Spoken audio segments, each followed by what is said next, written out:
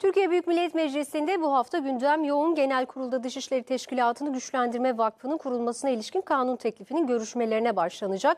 Kripto para ve Türk Silahlı Kuvvetleri Personel Kanunu'nda değişiklik öngören düzenlemeler de komisyonlarca görüşülecek.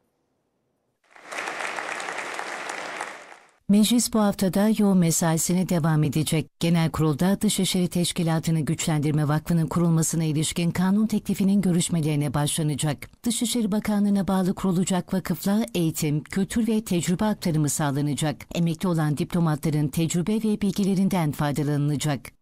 Türk Silahlı Kuvvetleri Personel Kanunu'nda değişiklik öngören teklif ise Milli Savunma Komisyonu'nda görüşülecek. Teklife göre askeri personelin ilişik kesmeyle sonuçlanan disiplin cezalarına denetim yolu açılacak. Askeri suçlara yönelik soruşturma izinlerinde son rütbe ve görevler esas alınacak. Emekli generallerin eski unvanlarını kullanarak izinsiz şekilde medyada beyanat vermeleri yasaklanacak. Türk Silahlı Kuvvetleri personelinin kimlik, görev veya faaliyetleri yetki verilen durumlar haricinde medyada yayınlanamayacak. Meclis Plan ve Bütçe Komisyonu'nun gündeminde ayrıca kripto varlıklara yasal çerçeve öngören düzenleme olacak. Sermaye Piyasası Kanunu'nda değişiklik yapılmasına ilişkin teklifte kripto varlıklar yasayla tanımlanacak. Düzenlemeyle kripto varlık hizmet sağlayıcıların kuruluş ve faaliyet için Sermaye Piyasası Kurulu'ndan izin almaları zorunlu hale getirilecek. Kripto varlıkların ihracı, satışı ve dağıtımına ilişkin olarak Sermaye Piyasası Kurulu'na yetki verilecek.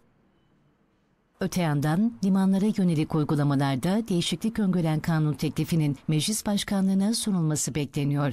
Okullarda şiddetin cezalarını artıracak kanun teklifiyle başıboş sokak köpekleriyle ilgili düzenlemeye yönelik çalışmalar da sürecek.